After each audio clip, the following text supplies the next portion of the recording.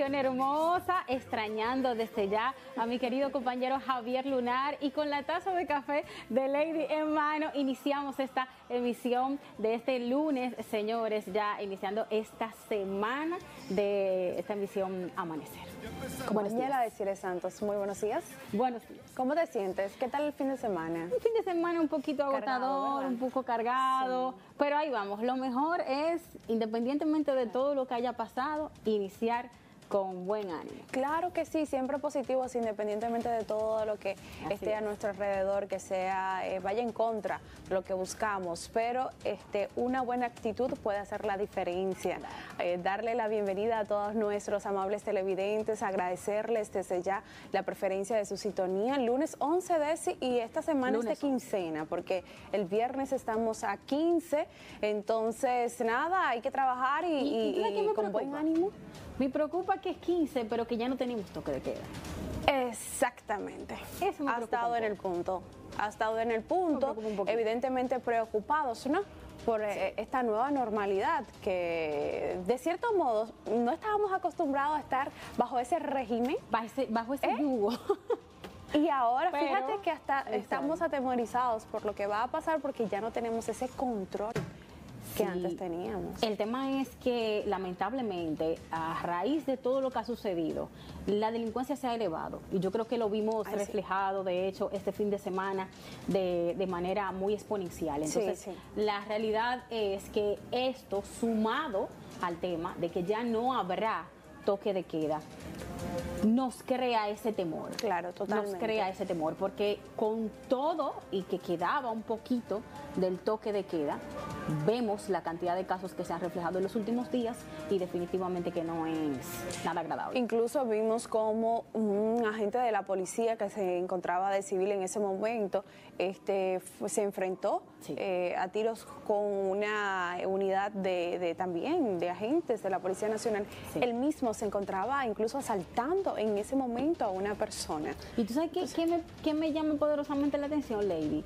Ese caso que tú planteas, pero sobre todo que vi en dos casos puntuales que sucedieron durante el fin de semana, que la sociedad está tomando la justicia por sus manos. Sí, me preocupa también. Y eso, me preocupa mucho y yo creo que debería llamar la atención de igual forma de las autoridades, porque si eso obviamente...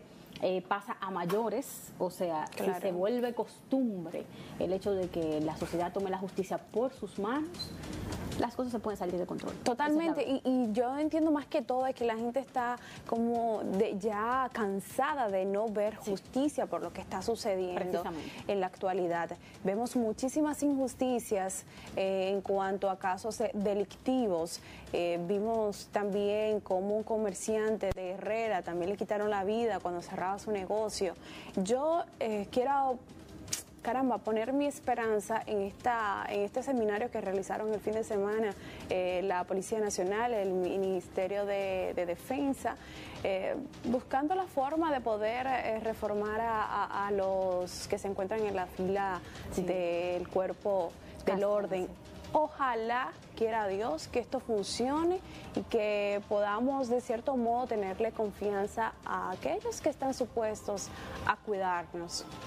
Sí, yo espero que así sea, la verdad. Ojalá todo pueda funcionar y por lo menos no solo que se regule, sino que de igual forma la delincuencia pueda disminuir. Claro porque lo que estamos viviendo nos tiene a todos en un nivel de estrés, pánico claro. y, terror. Esa es la verdad. Eso es así. Lo decimos no como una forma de que inicie esta semana preocupados, sino siendo empáticos con lo que está sucediendo en nuestra sociedad dominicana y, de esta forma.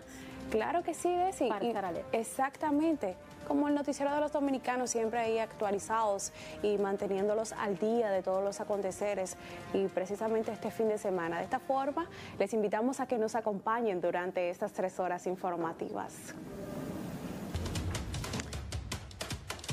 Tenemos nuestra ANS Te Pregunta, la cual se encuentra publicada en cada una de nuestras redes sociales. Le invitamos desde ya a que sea partícipe de la misma y deje su opinión. ¿Considera correcto que se exija la tarjeta de vacunación con dos dosis para asistir a lugares públicos? Recuerden que a partir de hoy ya no tenemos más estado de emergencia ni toque de queda, por lo tanto el Ministerio de Salud Pública. De igual modo, el gobierno de la República Dominicana ha dispuesto desde el viernes este, diversas medidas, entre ellas exigir la tarjeta de vacunación con las dos dosis para asistir a cualquier lugar público. ¿Le parece bien esto? Pase a nuestras redes sociales con el usuario A Noticias 7. Estamos en Facebook, Twitter e Instagram.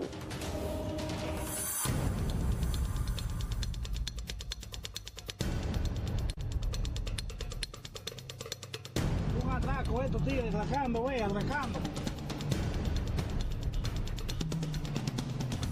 Damos garantía de que avanzamos en procura de lograr un país seguro para todos los dominicanos y todas las dominicanas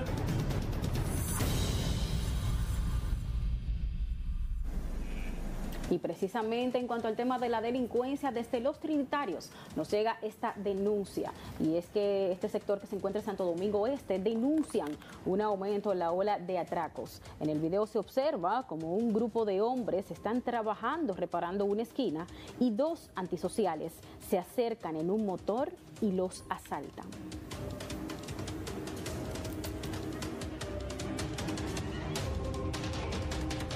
Indignados se encuentran los ciudadanos de República Dominicana y no es para menos y esto por la ola de robos y atracos que se producen a plena luz del día.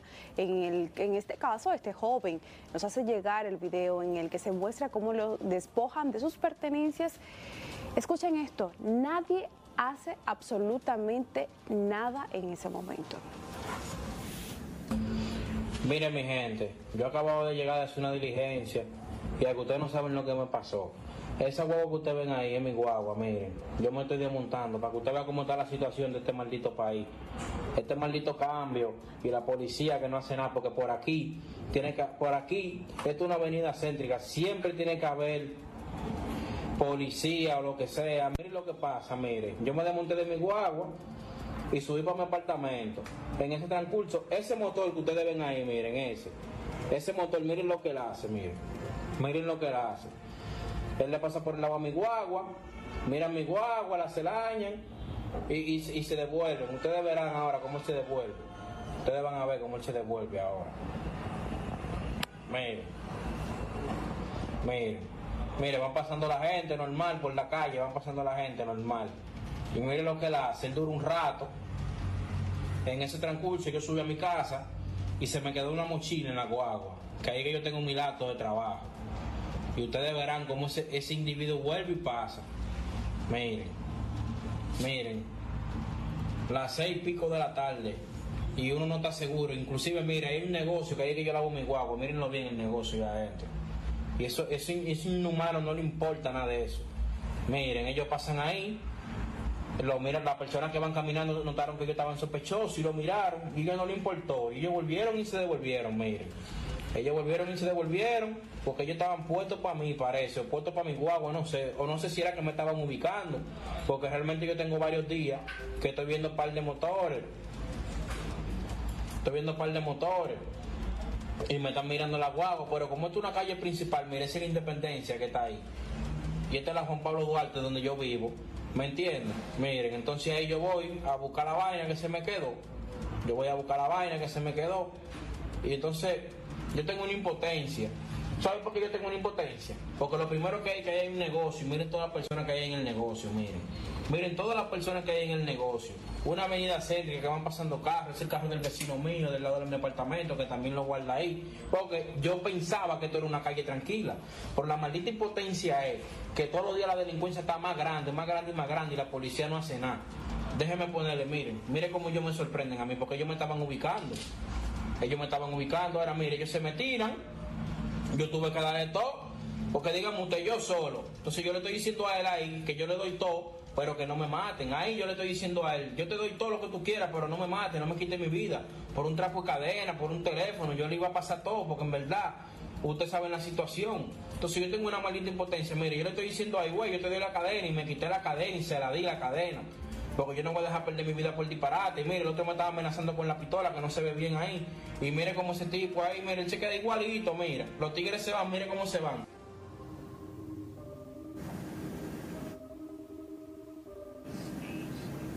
Muy lamentable. Las siguientes imágenes que vamos a ver a continuación, digamos que fue un atraco con un final feliz. Y es que una mujer que estuvo a punto de ser atracada es salvada por un delivery.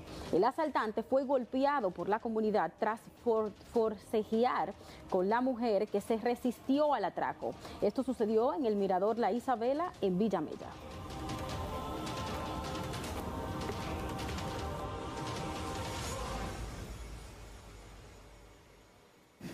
Ahora pasamos hacia San Pedro de Macorís, donde nos hacen llegar estas informaciones y precisamente a nuestro número de contacto 829-420-1245, donde los ciudadanos están cansados de la delincuencia y los abusos, tomando la justicia por sus propias manos.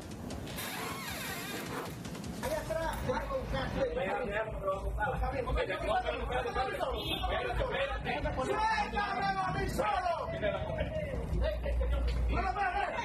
¡Para, para! ¡Para, para! ¡Venga! ¡Vamos para la Camine.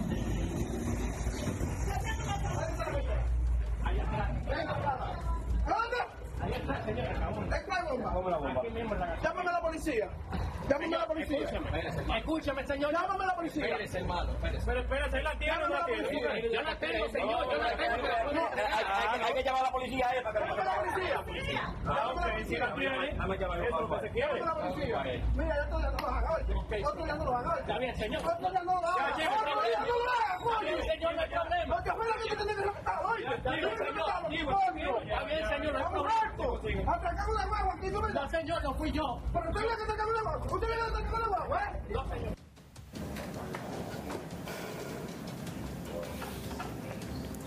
Y transeúntes de la avenida, de la avenida Las Américas dicen estar cansados de las carreras clandestinas. Afirman que las mismas continúan en dicha avenida, pudiendo provocar accidentes.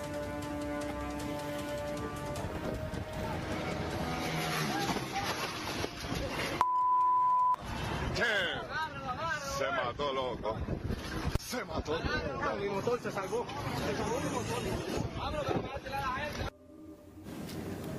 Hacen un llamado a las autoridades para que tomen cartas en el asunto urgentemente.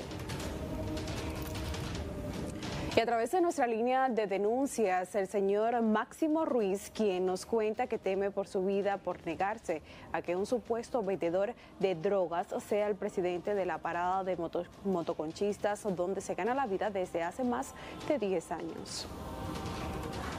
Está sucediendo un caso que yo estoy temiendo por, por mi vida, porque nosotros pertenecemos a la parada 27B aquí en Los Alcarrizos, en el control de los productores, frente al supermercado Miderica.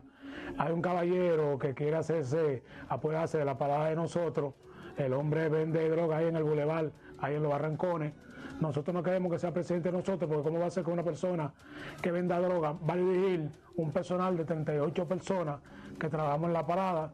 Pero él, porque yo me lo, puse y él agarró y me agredió a golpe. Los videos no los he podido conseguir, pero estoy tratando de que me, de que me lo consigan. Fui al destacamento y en el destacamento, Canta la Rana, no me hicieron caso. Y yo temo por mi vida porque me dice que me andaba buscando con una pistola. Yo no pude ni amanecer en mi casa y tengo miedo. Yo hago un llamado a la policía, al presidente de la República, que tome carta en el asunto. Cuando Hoy- tú me dices que él te agredió, ¿qué sucedió? eh, yo he llevado dos fundas de, de un, de un cliente y él me agarró por detrás y me jaló y yo caí en el suelo y me dio, me dio con los pies, me daba, me daba patada con los pies me daba- y me entró. Te mire ahí yo tengo ese roto ahí, que lo tengo hinchado, ahí de los golpes que me dio. Y yo tengo temor, porque yo soy una persona que me levanto todo a trabajar. Ese caballero vende los miércoles y los jueves en el punto de droga en la noche ahí en el bulevar. Si quieren pueden venir las oportunidades y investigar y averiguar. Que lo que estoy hablando de este testimonio de mi padre, que es la realidad, Dios lo sabe. Cuando tú fuiste a la policía, ¿qué te dijo la policía? La policía me dijo que tengo que ir a la fiscalía porque ellos no tengo que llevar la, la- la denuncia de la fiscalía, pero que hoy es domingo, ¿me entiendes? Y no y él fue a la, él pasó por la parada y los muchachos me, me dijeron que le estaba agarrando la cintura, me dieron vaya yo agarré y me fui, porque no quiero que me vaya de un tiro, porque me macheten, porque me andan buscando en la noche. Yo no dormí en mi casa, ni yo ni mi mujer, porque andaba pasando con los tigres para machetearme. Y, ¿Qué tú pides? yo, yo le pido a las autoridades, al presidente de la República, al jefe de la policía, de que tome carta en el asunto. Yo lo que soy un hombre que trabajo, me levanto todas las 5 de la mañana a trabajar. Que por favor, que me ayude, porque tengo por mi vida. ¿Conoces el nombre de esa persona? Se llama José Luis Peña, en el barrio le dicen El Chapa.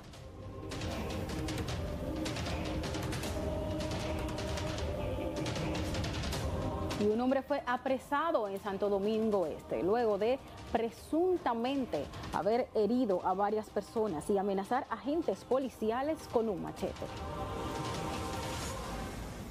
Le dije que baje el machete, le está hablando la policía. Ah, dije yo. Hermano, parece ahí. Parece ahí. Eh, parece ahí. Parece ahí, hermano. Parece ahí. Parece ahí, le dije. Parece ahí, le dije. Parece ahí. Párese, párese. Parece ahí, parece ahí. Tira el machete, le dije. Suelta el machete. Suelta el machete, suéltelo. Suelta, parece ahí. Si se mueve, le voy a un tiro en los pies. Le voy a explotar los pies. Le voy a explotar los pies. Quítaselo ahí, quítaselo, Lugo, quítaselo. Quítaselo ahí, quítaselo. Quítaselo. Espósalo, guardia. Espósalo ahí. Le copio, señor.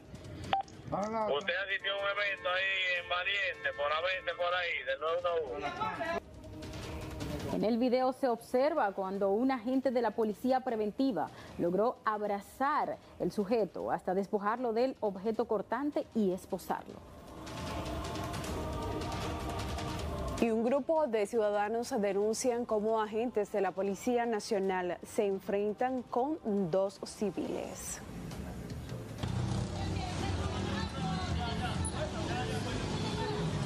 ¿qué?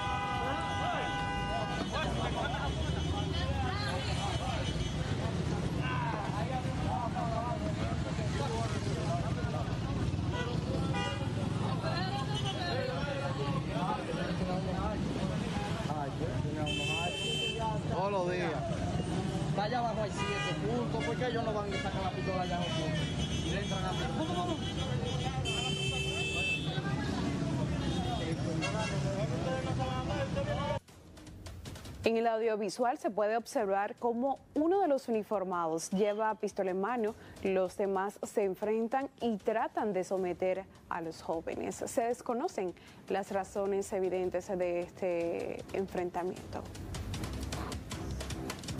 Y una joven llamada Charimel Mármol hizo la denuncia de que posteriormente a ella presuntamente haberle rozado el vehículo a otro conductor, este le explotó con un cuchillo las gomas del suyo en la avenida Monumental en Santo Domingo Oeste, próximo a la calle Duarte Vieja. Ocurrió este hecho. Mira, me explotó, me explotó la, me explotó la goma, me está explotando la goma, mira. Me está explotando la goma ese señor con un cuchillo, me explotó la goma, mire. Ese señor, mire, esa es su placa. Me explotó toda la goma. Buenas tardes, mi nombre es Charibel Marma, soy licenciada en administración, tengo una pequeña empresa, también soy madre soltera, eh, soy una persona que entiendo que le hace un aporte a la sociedad porque yo saco mi negocio adelante, yo pago mis impuestos, yo hago todo, yo cumplo con todas mis obligaciones, o sea, soy una persona socialmente responsable hasta ahora. El caso es que como persona socialmente responsable, yo entiendo que la sociedad debería de, como de remunerarme de alguna forma, por lo menos no ser tan asquerosa la sociedad conmigo. Eh, hoy me pasó un accidente que quiero denunciar por esta vía, porque entiendo que es bueno que, que salgamos a la calle sabiendo lo que nos espera. porque realmente antes de hoy yo no sabía lo que me esperaba, ¿verdad? Eh, nada, yo entre la, calle Duarte y la Monumental hay un tapón. Entonces eso fue en eso de las de 11.30 a 12 del mediodía. O sea, mi hija me tiene a mí. Yo me levanto todos los días a las 5 de la mañana a cocinarle a mi hija su arroz y su habichuela y su carne, su cosa que se va a llevar para la guardería. Me pongo a trabajar, trato de salir adelante. Y de repente este tipo casi me mata porque le topé su maldito vehículo. Y perdónenme por la palabra. Pero ¿con qué seguridad salimos a la calle? Los accidentes pasan, van a pasar, pero ¿cómo salgo a buscar la comida? Yo no tengo un marido, yo no tengo un papá, una mamá que me resuelva. Mis padres son personas mayores con diabetes, que mejor tengo yo que ayudarlos a ellos. Entonces, conchale, o sea, ¿de qué me sirve tanto estudio? ¿De qué me sirve tanto tratar de salir adelante? ¿De qué me sirve decir, sí, yo pago los impuestos cuando el tipo se va, ¿verdad? Vienen unos ciudadanos responsables, muy buena gente, y me dicen, ven, que, que, te, Con lágrimas en los ojos, la dama explicó que en medio de un tapón que se formó en las vías alrededor del mediodía, ve un señor que se va atravesando, medio acelerado. Lo deja que se vaya, pero él no sigue. Yo seguí, dice ella. Sin querer, yo le topo a la esquina de su vehículo y solo se le quedó pegado un chin de pintura. Así lo explicó la dama.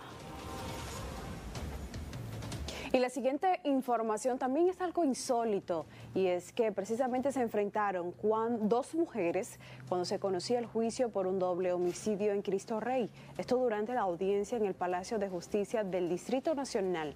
Dos familias se enfrentaron a trompadas, galletas y patadas.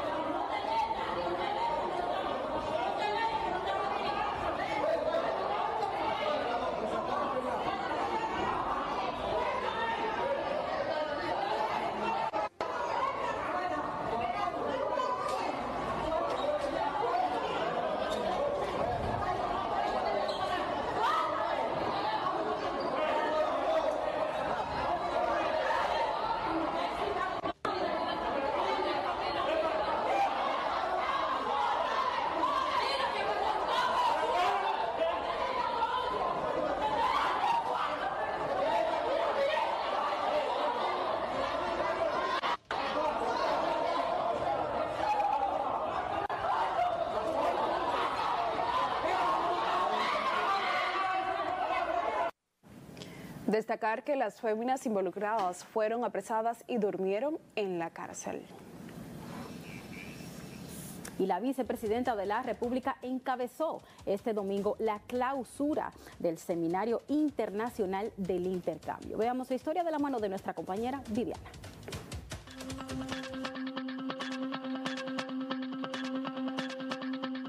Este fin de semana culminó el Seminario Internacional de Intercambio de Experiencias en Reforma Policial, el cual busca transformar la institución del orden. Transformar la policía no es una tarea fácil. Sabemos que no es fácil.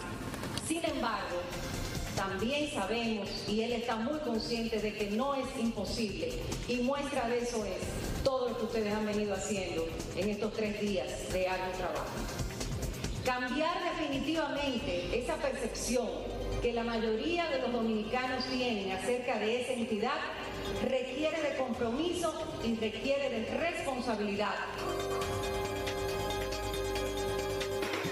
Nosotros necesitamos seguir apoyando increíblemente a cada uno de los departamentos que dirigen la Policía Nacional para que podamos lograr el estricto cumplimiento de cada una de las normativas que ellos están eh, eh, debidamente pues, instruidos para hacer cumplir.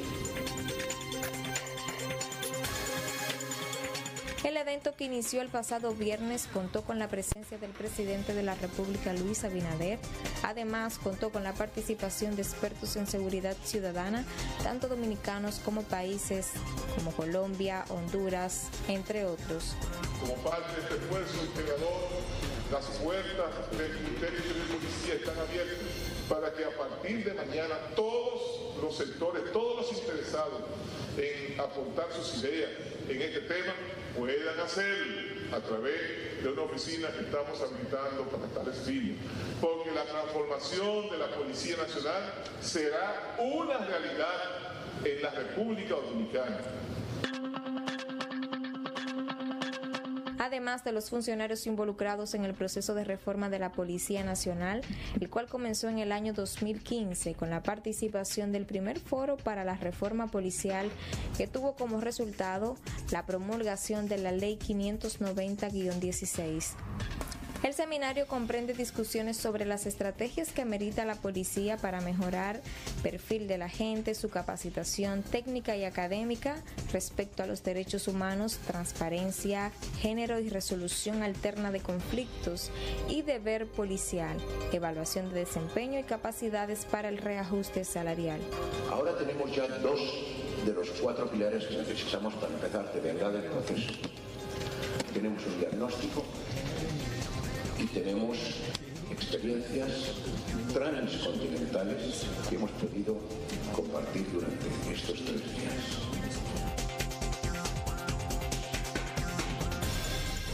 Porque a lo largo de todos estos días he visto muchas exposiciones acerca de lo que se tiene, pero ninguna exposición acerca de lo que se hace,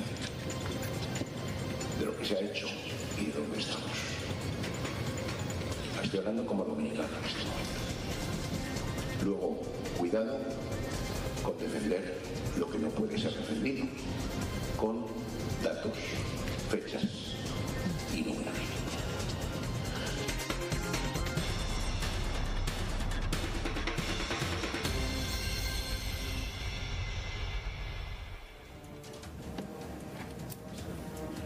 por su lado, el expresidente de la República Dominicana, Hipólito Mejía, calificó de disparate la propuesta del ministro de Interior y Policía, Jesús Vázquez Martínez, de quitarle las armas de reglamento a los agentes policiales al salir de su servicio. Sí, pero hay que explicar cuáles son las mayores propuestas. ¿Usted está de acuerdo con eso? Disparate. ¿Cómo tú, vas, ¿Cómo tú le vas a quitar las armas a esta gente? Digo, lo bueno que ustedes sepan, y yo siempre lo repetí cuando yo era presidente, que una de las posiciones más difíciles del país es para la policía. Porque si tú su paro a gente que se lo merece, te jode. Y si no le da, también te jode. La reforma policial, ¿qué le ha parecido a usted? ¿Se está trabajando? No, no se está trabajando. Y es necesaria. es la institución más desacreditada del país. por razones las que sea. Y el sacerdote Wilfredo Montaño exigió al Ministerio Público abandonar la parte mediática y actuar, refiriéndose al caso Odebrecht. Eh, hay una situación aquí, eh, yo siempre he hablado de esto. Eh, la fiebre no está en la sábana. Nosotros pensamos que el mar está en la sábana. Pensamos que se condenen a una persona y los demás están afuera. No, no es así. Entonces, es una situación un poco eh, triste, calamitosa. El Ministerio Público veo yo como los fallos que son muy, o sea, no son muy, los fallos que no son el procedimiento que debía haberse llevado. Y el peligro que, que el Ministerio Público está llevando este asunto a nivel mediático y las pruebas no están llegando y por eso se están cayendo los casos. Entonces, queremos que abandone la, parte mediática el Ministerio de Obras, el Ministerio Público, los medios mediáticos, porque cuando tú dices la prueba, la lanza y no tiene prueba, se te cae. Ya, ya el enemigo se prepara contra eso, ya sabe que eso es mentira. Entonces, si tú, por ejemplo, tienes X prueba, búscala, instrumentala bien, instrumentala bien. Entonces, cuando la presenta ya directamente eh, en el hecho, ya es diferente cuando tú la avisas al enemigo. Yo confío muy poco en la justicia muy poco en la justicia, porque cuando se malinstrumenta los expedientes, está colaborando con el que hizo el hecho. Y cambiando de tema, la Dirección Nacional de Control de Drogas, con el apoyo de miembros del Cuerpo Especializado de Seguridad Aeroportuaria y bajo la coordinación del Ministerio Público, incautaron cinco paquetes, presumiblemente cocaína o heroína, en el Aeropuerto Internacional de las Américas. Agentes antinarcóticos y efectivos militares en la terminal realizaron labores de inspección en el área de abordaje de los vuelos con destino a España cuando encontraron un equipaje que no fue reclamado por ningún pasajero. En ese momento y en presencia de un fiscal adjunto, se procedió a requisar en el equipaje, ocupando en su interior un bulto de color negro con cinco paquetes, presumiblemente cocaína o heroína, con un peso preliminar de 6.20 kilogramos.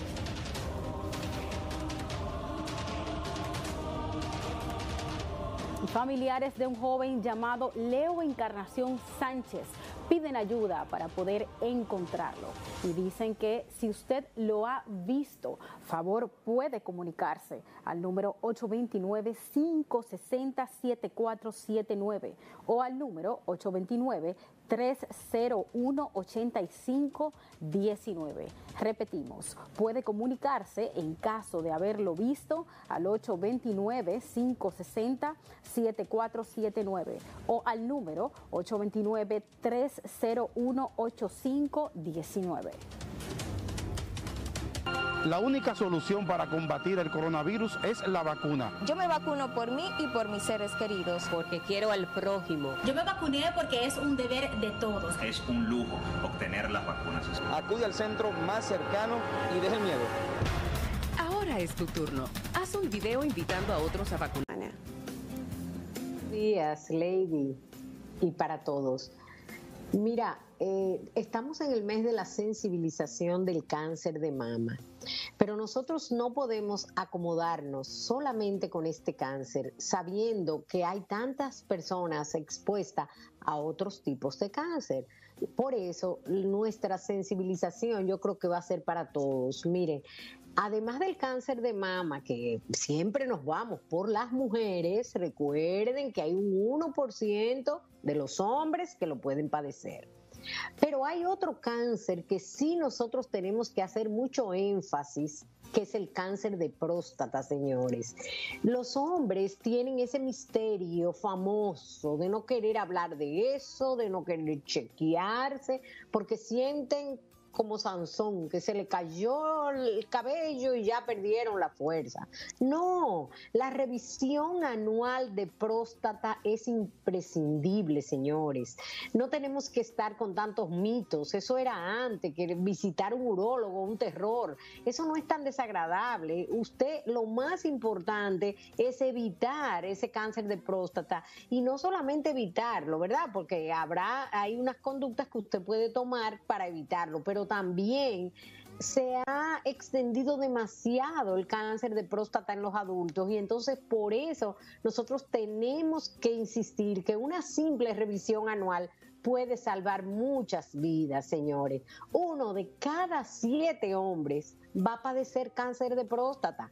Eso es muy similar a la del cáncer de mama. Entonces, la percepción que tenemos es muy diferente. Las revisiones de la mujer siempre son generalizadas, el tratamiento personalizado, muy efectivo, pero en los hombres, como le digo yo mismo, no le dan importancia, o sea, el hombre en sí no le da importancia. Y, la verdad es que pensamos que la sociedad es culpable, bueno, yo pienso que cada hombre es culpable de ser, de acomodarse y pensar que no le va a tocar.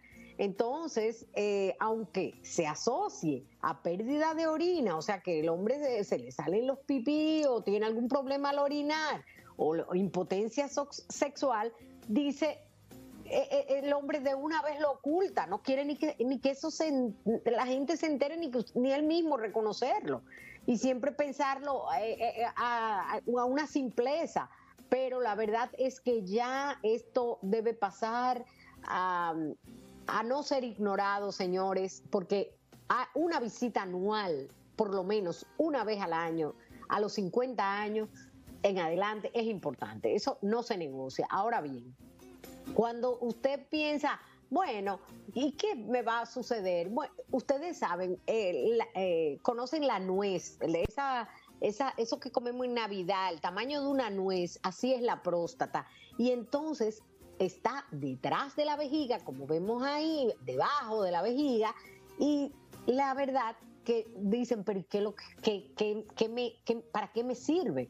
Bueno, la, la, función reproductora, porque produce el líquido seminal que ayuda a alimentar los espermatozoides. Entonces, es crucial siempre para la función urinaria, porque la uretra, que es el conducto que baja, que pasa la orina, pasa a través, por, viene al pene, pero traspasa por la próstata, pasa por la próstata. Por eso, si la próstata se inflama, bloquea esa uretra y entonces la persona puede tener problemas al, orinar.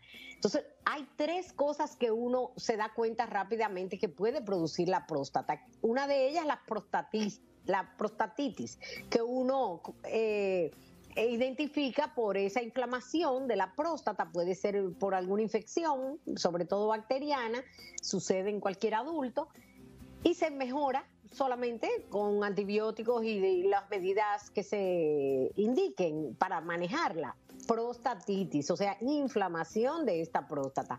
Pero también otra cosa que a partir de los 40 comienza a crecer de manera normal es la hiperplasia benigna de próstata, señores. Y entonces eso a veces es un crecimiento quizás un poquito más rápido y entonces ahí sí también se manifiesta el problema de orinar. Pero entonces cuando comienza a crecerse y también aparecen células malignas, ahí tenemos que detectarla con una biopsia para ver qué está pasando, si hay cáncer.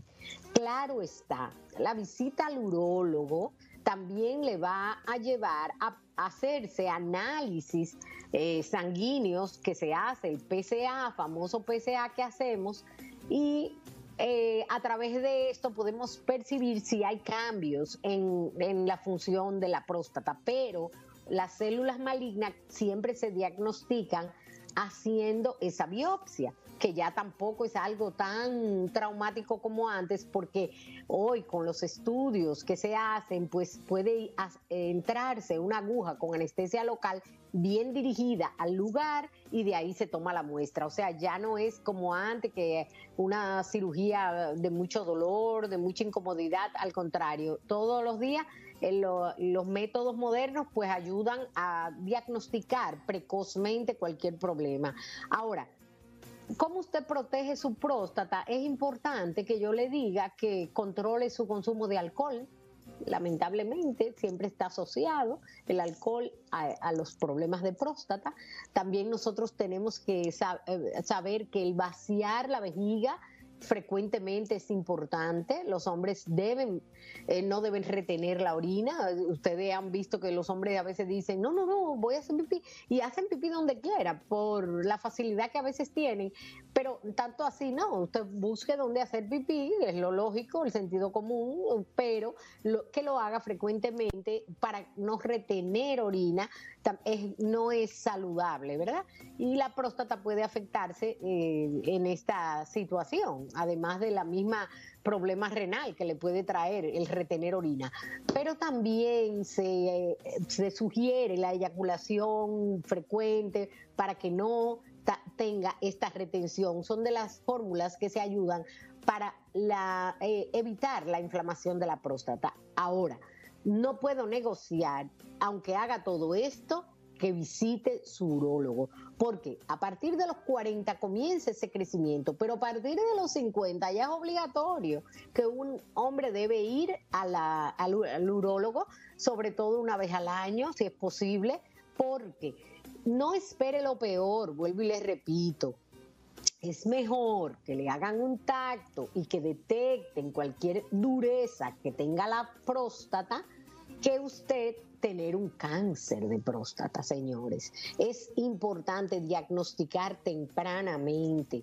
He visto muchos pacientes eh, lamentando no haber ido con tiempo, eh, lo han tenido que operar eh, ya de una manera muy avanzada y la verdad es que tenemos que considerar que es igual que la mujer que hay que detectarlo a tiempo para que tenga todo ese funcionamiento restaurado. O sea, cuando lo operan a tiempo, ya hoy, el mecanismo de la cirugía eh, no es tan traumático, como le digo, puede volver a tener su vida sexual y eh, que es lo que más le preocupa y su vida normal de, en cuanto a sexual y orinar y sus funciones normales cuando se detecta precozmente y se opera. Hay unos mecanismos de operar bastante sencillos en cuanto a que son con cirugía robótica que no afectan eh, terminaciones nerviosas y el paciente queda perfectamente bien. Por eso es importante diagnosticar precozmente. No puedo dejar de hablar de esto porque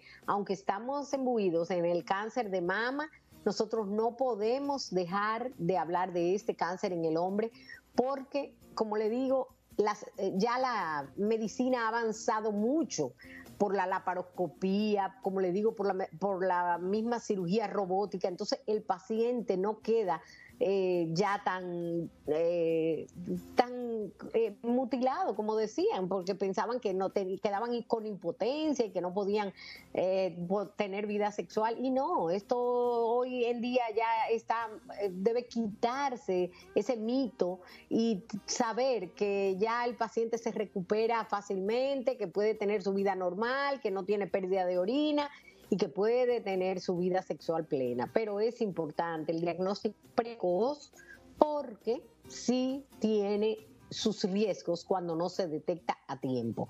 Por eso es importante que hablemos de esto, porque es muy frecuente y uno de cada siete hombres va a tener cáncer de próstata. Por eso es importante diagnosticarlo. Eso, doctora, y qué bueno que usted eh, rescata este, esta enfermedad, este cáncer de próstata porque estamos en el mes de la concienciación. Además de eso, doctora, me gustaría preguntarle rápidamente, ¿se dan estos casos, esta enfermedad más en, hombres mayores que en jóvenes?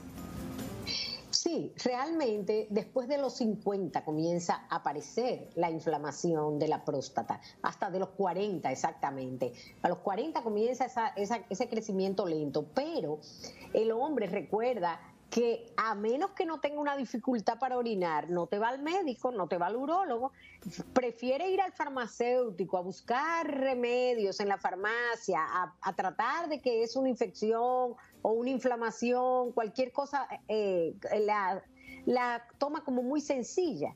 Y la verdad es que el hombre también debe visitar frecuentemente el urólogo y como le digo, aunque sea una vez al año, eh, tú dices, déjame ir a chequearme, porque no tengo que esperar tener problemas al orinar, que es uno de los primeros, porque es como te digo, es algo que el hombre no quiere hablar, cosas que no quiere tocar, porque teme perder su virilidad, llegar a impotencia, y entonces por eso ni toca como decimos, esa tecla, para no hablar de eso. Pero no, eso debe verse como algo muy normal, chequeo rutinario en el urólogo. O sea, que no dejen de ir y chequearse. Eh, tanto nos preocupamos por el cáncer de mama en la mujer como tenemos que preocuparnos por cáncer de mama en el hombre, que también se ve, y el de próstata que no se queda atrás.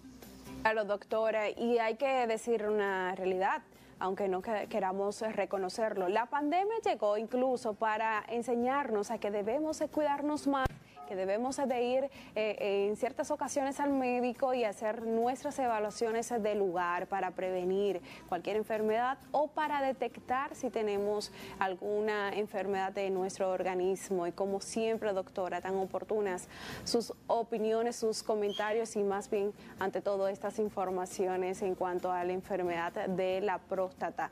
De esta forma nos vamos a nuestra primera pausa de la mañana. No le cambia, regreso, continuamos con más de AN7 Amanecer. Thank you.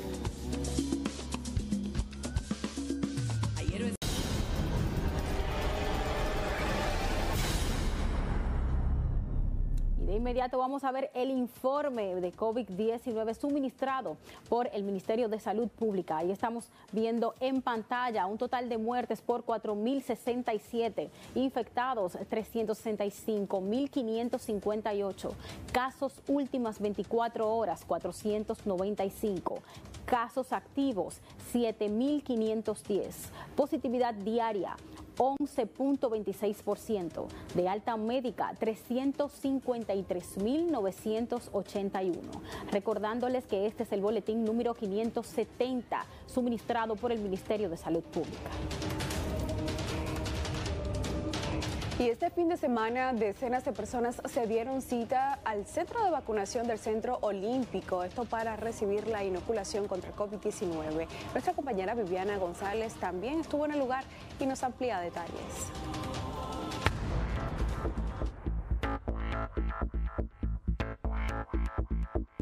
Los stands de inoculación, como el ubicado en el Centro Olímpico Juan Pablo Duarte, presentaron este fin de semana mayor flujo de ciudadanos días después de que el Ministerio de Salud Pública anunciara que debían presentar la tarjeta de vacunación para entrar a lugares públicos. La doctora Rojas, que no quiso hablar en cámara, aseguró que la vacunación fue muy fluida e hicieron más acto de presencia este fin de semana en comparación con los anteriores. Detalló además que la cantidad de dosis disponibles para el domingo referente a la vacuna Pfizer fue de 480 y 80 dosis de Sinovac. Además, algunas de las personas que se dieron cita recibieron la primera dosis en contra del COVID y un mínimo de la tercera dosis. A propósito entonces de que las autoridades han tomado la decisión de que se tiene que presentar la tarjeta con por lo menos dos dosis, ¿se entiende que está bien por parte de las autoridades o no? Bueno, están haciendo eh, que el pueblo asuma un compromiso y hay que hacerlo, hay que asumirlo porque es para cuidarnos. Es una responsabilidad de uno mismo también. Independientemente de que sea obligatorio o no sea obligatorio, es una responsabilidad de uno.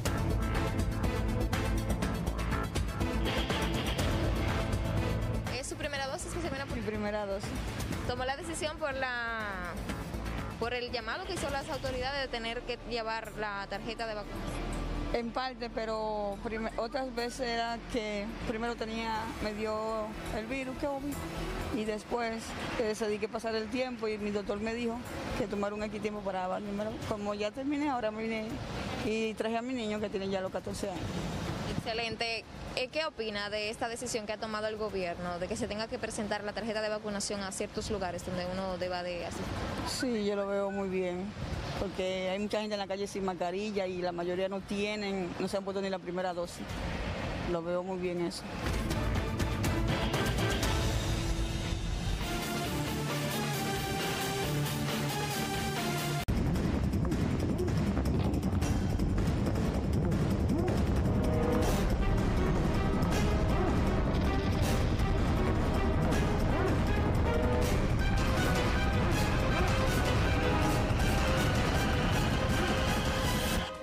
Volvemos al plano nacional con una noticia que puede ser alentadora para muchos médicos en nuestro país. Mediante la resolución número 533-01, el Consejo Nacional de Seguridad Social aprobó la aceptación de recetas médicas en las farmacias sin importar que el médico que la prescriba no tenga códigos o no estén afiliados a las ARS. Esta resolución entró en vigencia el viernes, dando cumplimiento a parte del acuerdo firmado recientemente entre el Colegio Médico Dominicano, las administradoras de riesgo de salud y los ministerios de salud pública y de trabajo.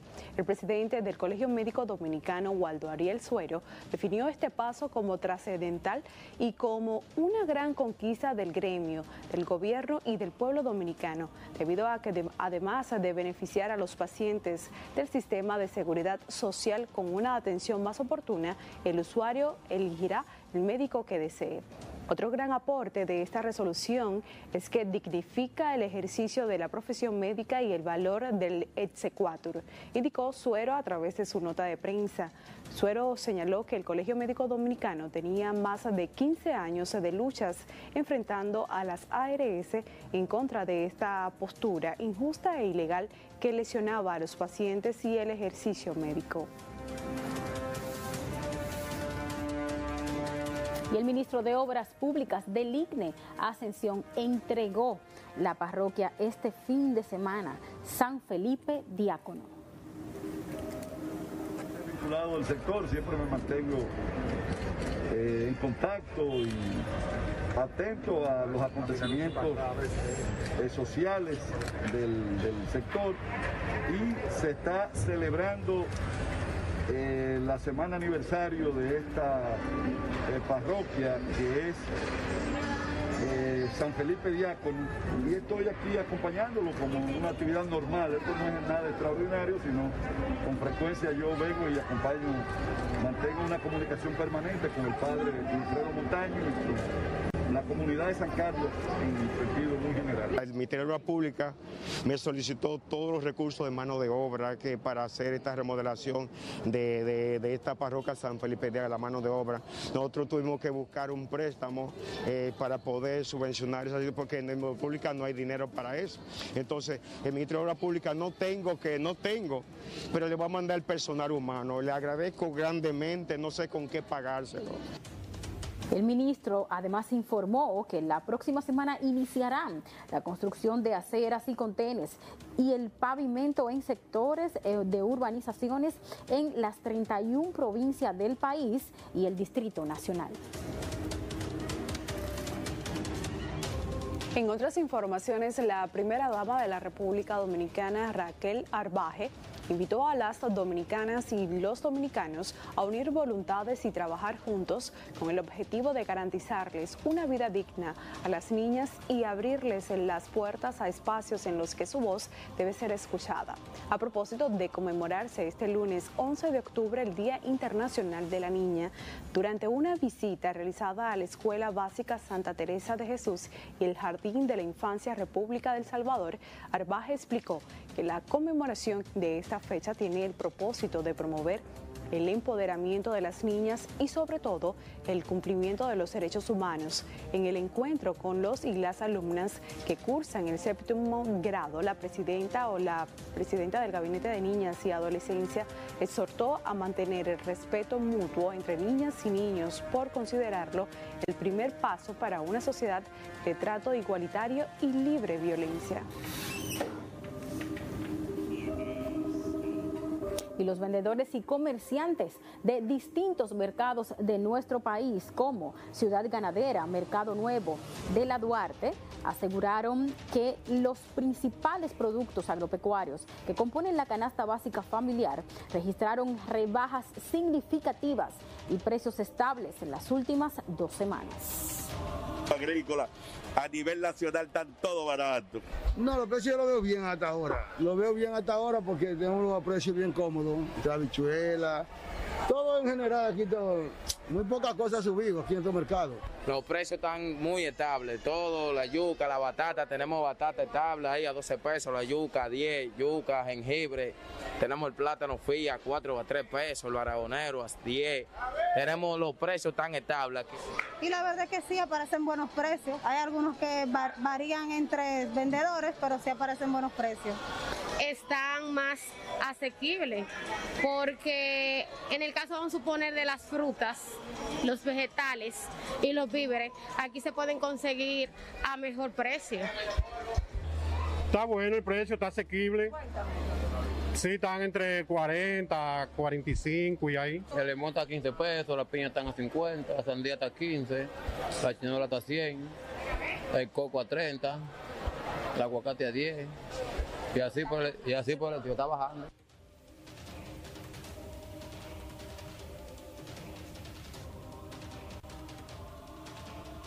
5 y 10 pesos para comercializarse a 40 pesos la libra.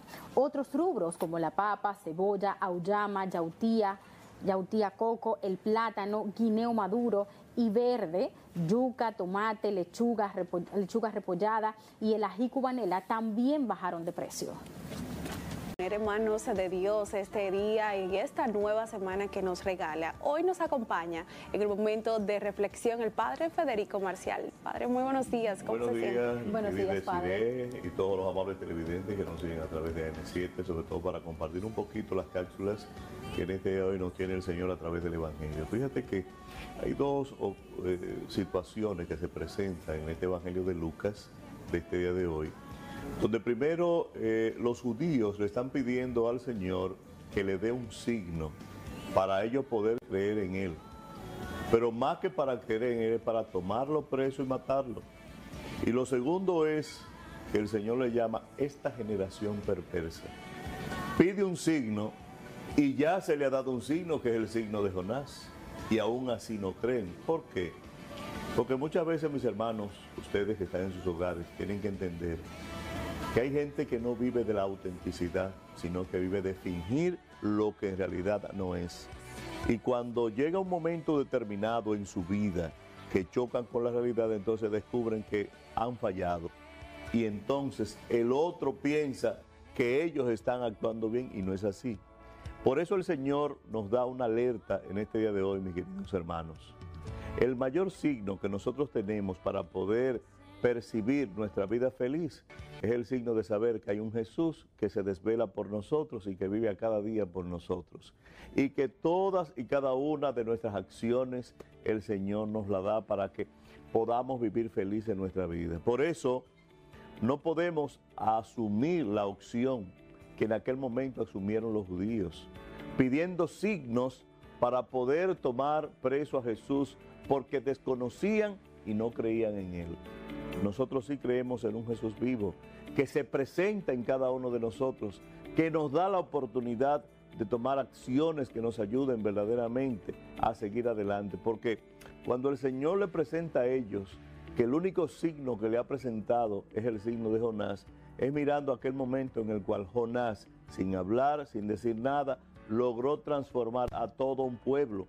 Porque ese pueblo, a través de la acción evangelizadora presentada por Jonás, logró verdaderamente creer en él. Por eso, en este día de hoy, nuestras actitudes, en un tiempo en el cual nosotros estamos viviendo con una pandemia, con tantas cosas que están a nuestro alrededor, como la delincuencia, que trata sobre todo de abatirnos y de no darnos opciones para poder vivir feliz, el Señor viene a traer para nosotros una esperanza y esa esperanza es tenerlo a Él en su corazón para que nuestra vida cambie y se vuelvan hacia Dios.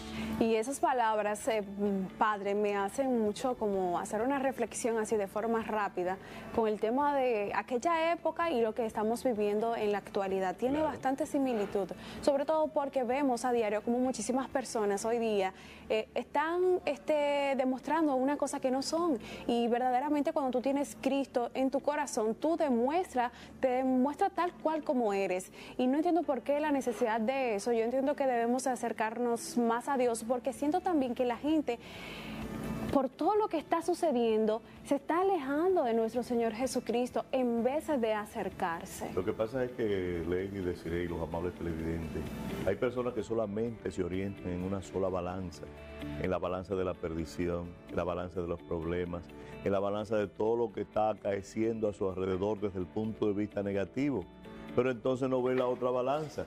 Las cosas positivas que aunque no son muchas, pero alivian sobre todo a que esas negativas logren eh, separarse de nosotros y podamos caminar por un camino donde la acción de Dios logre verdaderamente transformar nuestra vida. Por tanto, que en este día de hoy, y este es el mensaje que queda en cada uno de nosotros, que nosotros entendamos que el signo mayor que nos ha regalado el Señor es el signo de estar siempre junto a nosotros y que sobre todo por más problemas, por más dificultades, por más cosas que tengamos en nuestra vida, nunca nos olvidemos de saber que Dios está en nuestra vida para que pueda dirigir verdaderamente nuestro caminar.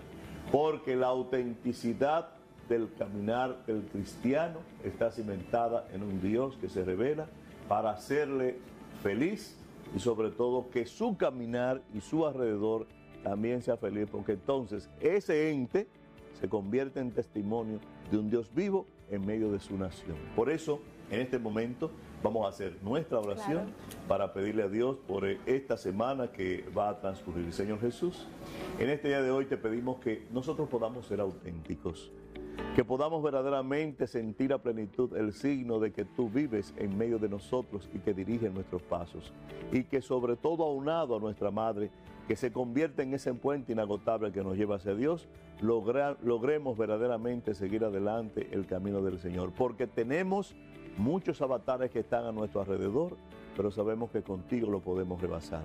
Todo esto te lo pedimos en el nombre del Padre y del Hijo y del Espíritu Santo.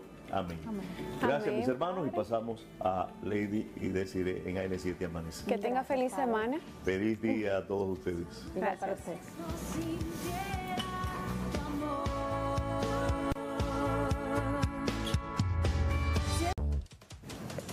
Estamos de vuelta, atención a todas las amas de casa porque arrancando la semana sabemos que ustedes también quieren saber cómo andan los precios de los productos que componen la canasta básica familiar.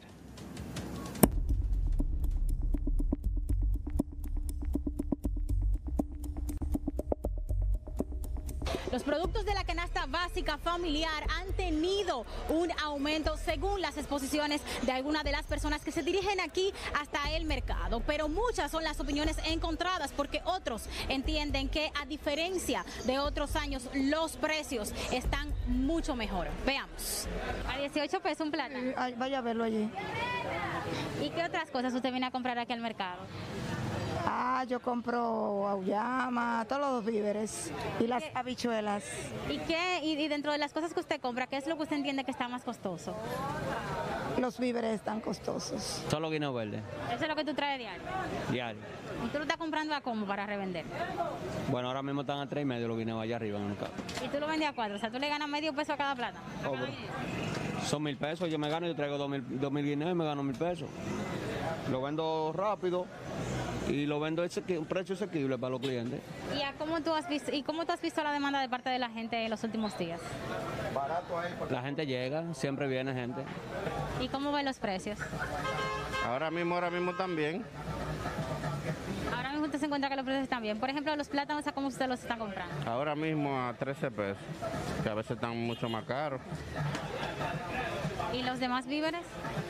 Eh, yo lo encuentro asequible son las papas, que precios anteriores están mucho más cómodos ahora.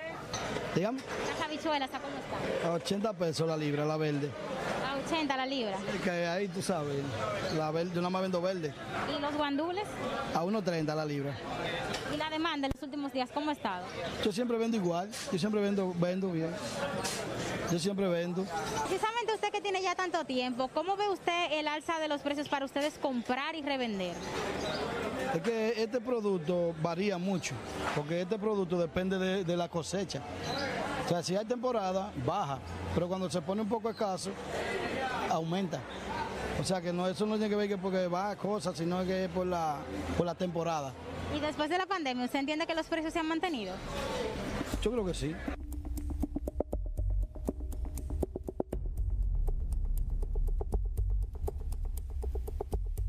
¿Usted acostumbra a venir siempre al mercado? Todos los días. ¿Y qué cosas usted adquiere aquí? De todo, yuca, plátano, arroz, habichuela. ¿Cómo ve los precios de cada una de esas cosas que usted compra? Bueno, hasta ahora bien, porque imagínate, la cosa está muy cara, pero obligatoriamente hay que comer y comprar. Los precios ahora mismo están, como te digo, no te puedo hablar mentira, los precios están caros ahora mismo, ¿sabes? O sea, no ha bajado nada. El pollo está igual, el pollo está a 80 pesos la libra. Igualmente la, pierna, la pierna está igual a, 100 pesos. Obviamente el pollo está, está, caro, no ha bajado todavía, ¿no? ¿Cuánto está costando la libra? A 85 la libra de pollo. ¿En el caso de la res? No, la carne de res esa está altísima también, ahora mismo está a 2.10 viste. En el caso, por ejemplo, de todos los derivados del cerdo, ¿cuánto están costando? No, el cerdo ha bajado un poco. El cerdo estaba a 110, ahora está a 88 la libra. Los salames están costando 3,5, el salame Indubeca y el chef. Y la salchicha, la Emilio, 400 eh, eh, y 3,5 la, la ranchera. Los quesos están a precio cómodo. El cheddar está a 1.50, el blanco está a 110 pesos la libra. ¿Y en el caso del ajo cuánto está costando? 150 pesos la libra. ¿Y las papas? La papa es otra barata, la papa, la papa está a 20 pesos. ¿Tú entiendes que los precios a que tú estás comprando te flexibilizan para tú poder venderle a la gente? Eh, debería ser un poco más económico porque la situación está un poco medio difícil. Pero eh, pero la gente, como están los productos, pueden comprar, se puede comprar. Y los vendedores afirman que las demandas han disminuido de parte de los consumidores, precisamente porque algunos productos han sufrido una inflación.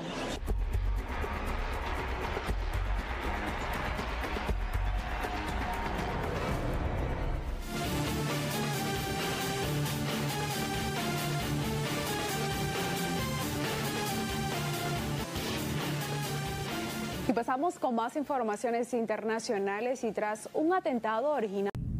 Y la siguiente denuncia nos llega desde Sabana Perdida, específicamente del sector Villa Blanca Segunda. Veamos lo que expone. Le enseñamos esta callecita Maximiliano Gómez de Villa Blanca Segunda. ¿eh?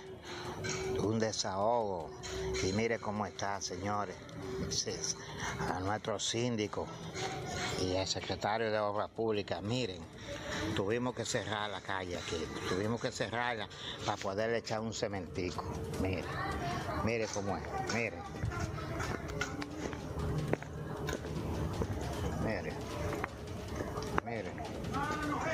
Mire, mire cómo es, mire, mire. Tuvimos que cerrarla para poder tapar los hoyos, mire.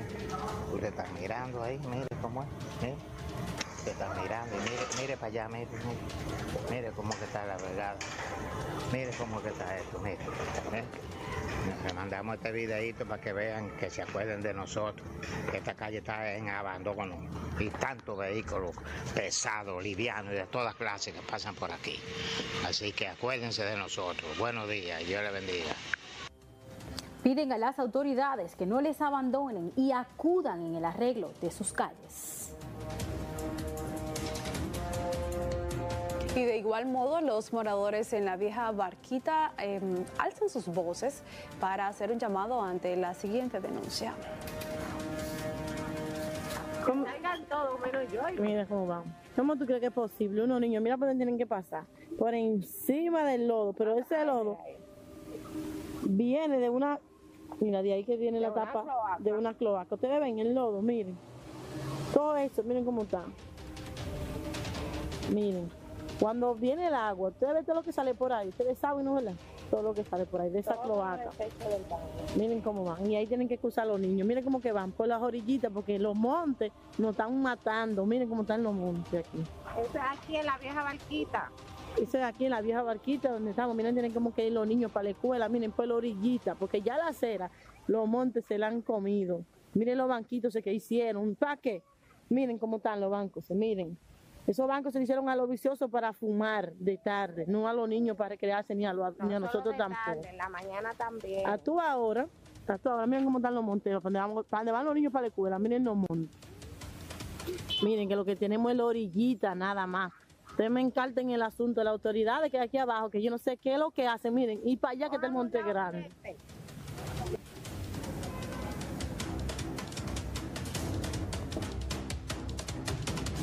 La única solución para combatir el coronavirus es la vacuna. Yo me vacuno por mí y por mis seres queridos. Porque quiero al prójimo. Yo me vacuné porque es un deber de todos. Es un lujo obtener las vacunas. Acude al centro más cercano y deje el miedo. Ahora es tu turno. Haz un video invitando a otros a vacunarse y compártelo en tus redes sociales etiquetando arroba a noticias 7 y utilizando el hashtag AN7VacunaTRD. Escribamos juntos este capítulo histórico de nuestra nación. AN7, el noticiero de los dominicanos.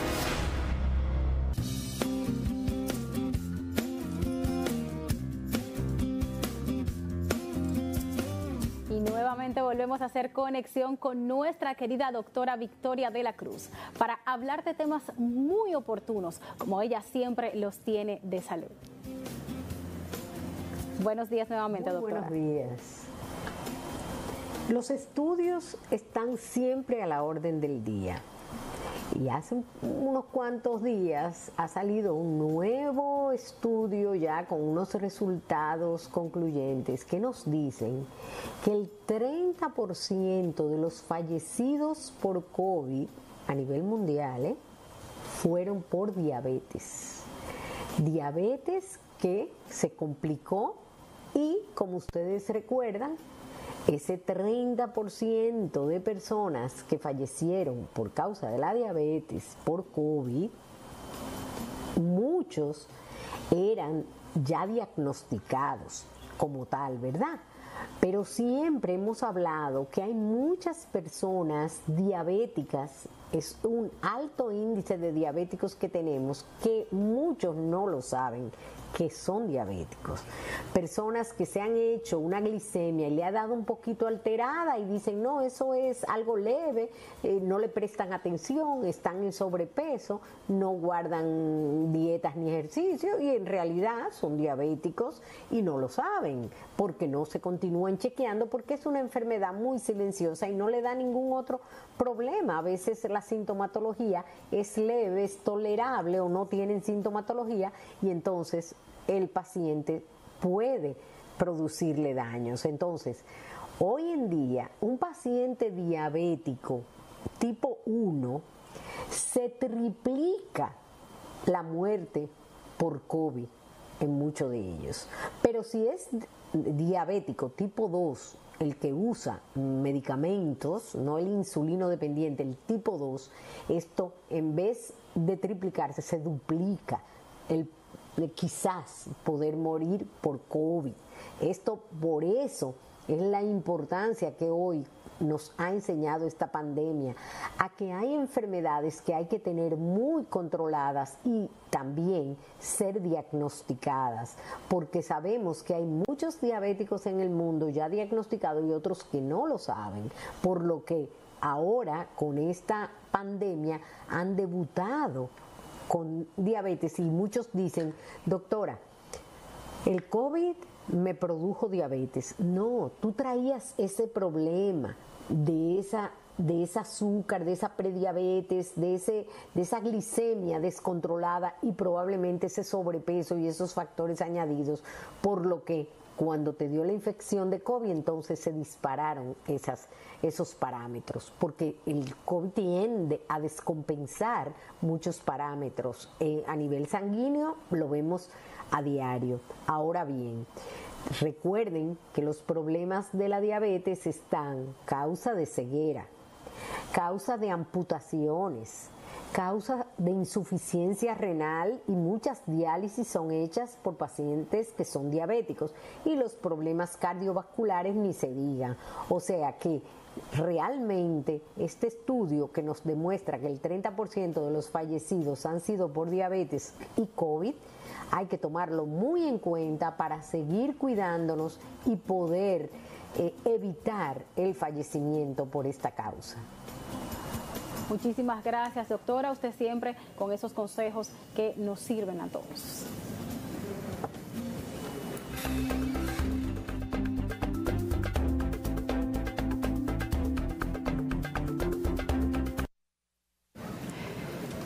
Y ahí les tenemos nuestra ANST pregunta. ¿Considera correcto que se exija la tarjeta de vacunación con dos dosis para asistir a lugares públicos? Esa es la interrogante. Les invitamos a que acudan a nuestras redes sociales con usuario a Noticias 7. Estamos en Facebook, Twitter e Instagram. Utilice la etiqueta AN7 Pregunta. Más adelante estaremos presentando sus opiniones respecto a esta nueva medida dispuesta por el Gabinete de Salud. Esto a raíz de que a partir de este lunes ya no tenemos estado de emergencia ni toque de queda en la República Dominicana.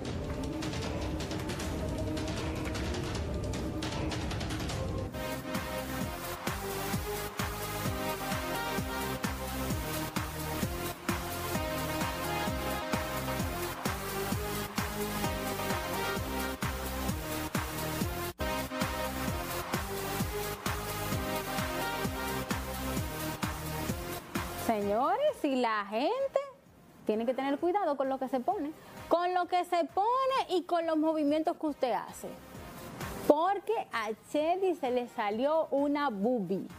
Mire, miren el video, miren el video. Ay, Dios mío, ay, Dios mío, bueno. Hay que tener mucho cuidado, compañera. Usted se imagina usted haciendo el video y que de repente un movimiento brusco. Miren, miren, miren, miren. Miren ahí, miren ahí, miren ahí. Eso, eso, eso la verdad, eso no. Bueno. Pero mi pregunta es, ¿ella estaba haciendo un live o, fue un video que publicó? Porque ahí entonces se ve que un poquito de sonido sí fue que lo publicó.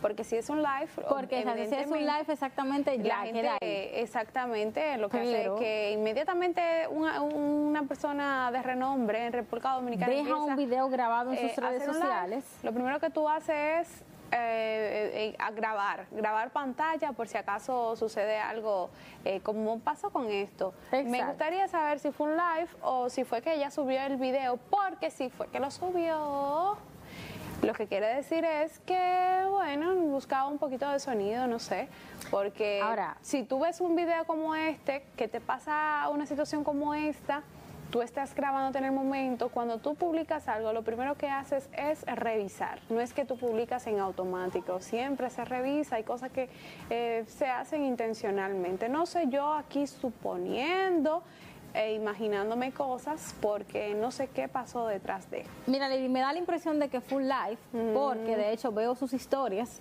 y esta parte no la veo en sus historias eh, y, en sus últimos, sus últimos posts en el Instagram solo son fotografías.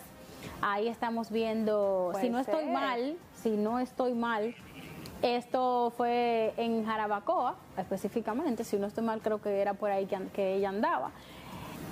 Pero es un poco desagradable, o sea, no sé. Pongamos el ejemplo de que de que tan fuera extrovertida en realidad. Como que llegar al punto de buscar sonido de esa manera exponiendo tu cuerpo. O sea, siento, y yo siento que tampoco hay la necesidad. No. porque ella, ella es una figura que se mantiene vigente todo el tiempo. Claro. Todo el tiempo. O sea, Chedi es de las pocas figuras. todo. Tendencia. Tendencia. O sea, Chedi es de las pocas figuras de aquí de Dominicana que puede decir que hoy día vive de las redes sociales. Sí, claro, claro que sí. O sea, esa, es, una gran realidad. actriz también. Muy buena. es una muy gran buena, muy buena. ante todo. O sea que mm, no creo que, que, tenga la necesidad en caso de que Espera en el señor que sí, que haya sido un live y que alguien, tú sabes, malintencionado lo publicó. Subió exactamente el video, se automáticamente se viralizó, porque se viralizó, señores, porque yo les voy a decir una cosa, a ustedes no les gusta eso, no les gusta ese tipo de contenido, pero se viraliza. Y si se viraliza, como siempre digo, si se viraliza es porque usted le da seguimiento. Es porque usted le da el seguimiento. Para que algo se viralice, tiene un público masivo que darle el seguimiento que corresponde. Entonces vemos... ¿Y se puede este escuchar este video? y vemos que este tipo de, situaciones eh, se viralizan con cierta frecuencia, Lady. Entonces, la verdad es que entonces el público le da un seguimiento constante. Vamos a escuchar.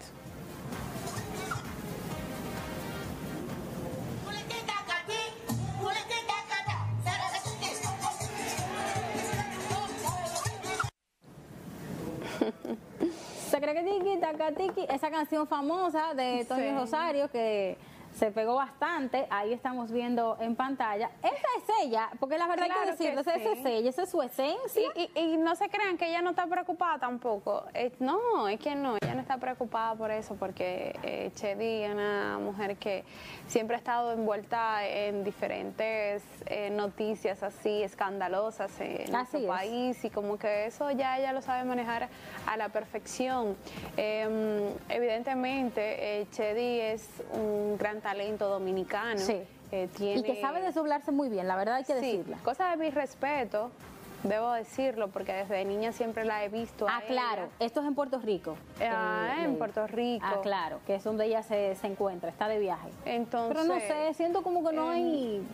Si fue un sonidito, eh, caramba, no, no, había esa necesidad. Pudo haberlo hecho con otra cosa pero no. con exponer su cuerpo, sobre todo porque estamos hablando de una, eh, una persona, una madre que tiene una ya mujer, eh, porque su hija ya tiene 18, 19 años, por ahí, o más de 20 años. un adulto, claro. Exacto, entonces como que no hablaría muy bien que digamos. Exacto, ya Chedi eh, es una mujer con debe sus hijos. Un poquito. Exacto, tiene sus hijos, debe cuidar un poco más su imagen también por el tema de que independientemente de que hoy día lo que marque sea el sonido y este tipo eh, de situaciones, hay que tratar de manejarse. Claro que Hay que tratar de manejarse, sobre todo si usted no tiene la necesidad, porque en el caso de Chedi, Chedi no tiene la necesidad de ese tipo de cosas. esa, es la verdad. Así que esperamos, esperamos, como dice Lady,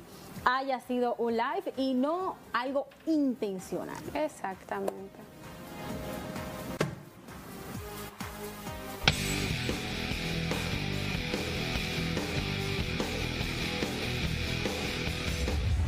El día y con él las noticias en cada lugar y región de nuestro país. Usted debe estar bien informado de lo que acontece en la República Dominicana y el mundo. Síganos en las redes sociales y entérese de primera mano de las noticias más relevantes. AN7 Noticias, el noticiero de los dominicanos.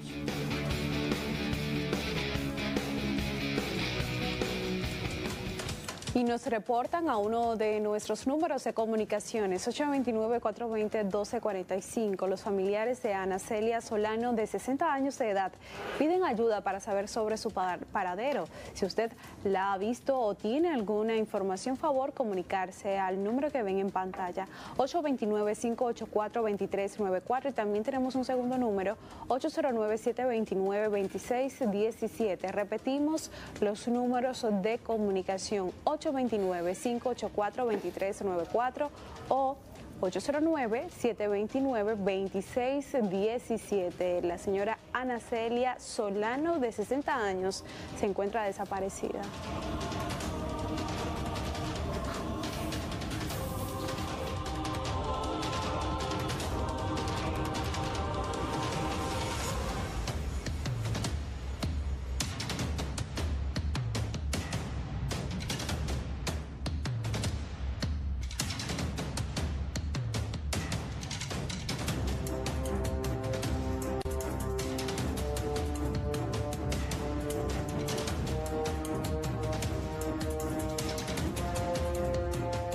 Otra persona desaparecida lamentablemente y sus familiares piden a gritos que si la ven por favor den los detalles de inmediato.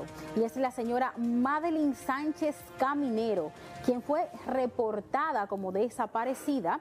Se encuentra en este estado desde el viernes pasado que salió de su hogar con rumbo desconocido. Para cualquier información usted puede comunicarse, sus familiares se lo van a agradecer y lo piden de favor al número 829-921-1588. Pueden comunicarse, repetimos, al 829-921 1588. Ahí estamos viendo el número en pantalla. Usted puede comunicarse para dar detalles si ve a esta señora de la foto llamada Madeline Sánchez Caminero.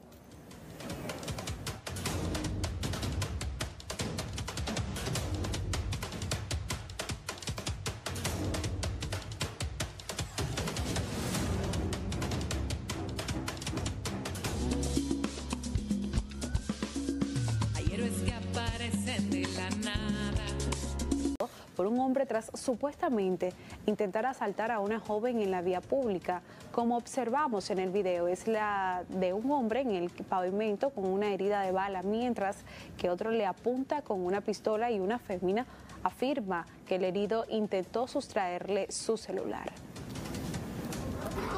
preñada, ¿para qué tú te sales atracado? Dime. Graba, Joana, graba, graba, grábalo, grábalo, grábalo. Ay, Dios. Grábalo, Te está muriendo tu mujer y tú te estás.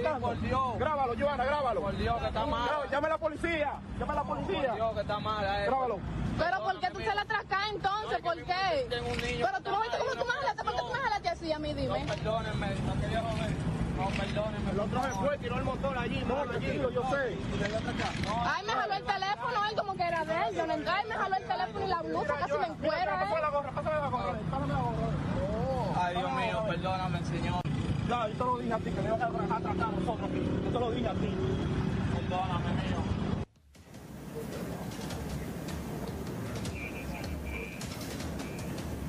Y la siguiente denuncia nos llega desde el sector La Grúa de Mendoza.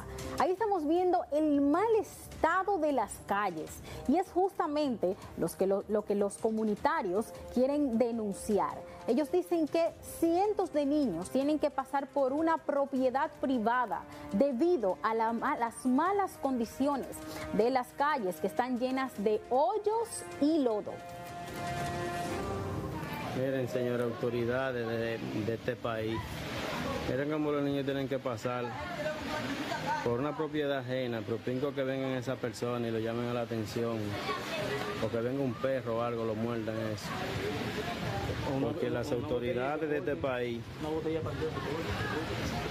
no puedan arreglar esta calle, que estamos ahí al lado de la escuela de los Alifonsos. Miren los niños cómo que tienen que hacerlo. Algunos tienen que quitar los zapatos y otros no. Pero miren qué barbaridad. Cientos de niños a diario tienen que hacer eso. Cientos de niños no creo que sea posible que esto pueda continuar en esta situación. Mientras que el maldito alcalde de Manuel Jiménez, lo que esté haciéndole moral a Johnny Ventura, como que si ese hombre dejó algún programa para ayudar a alguien.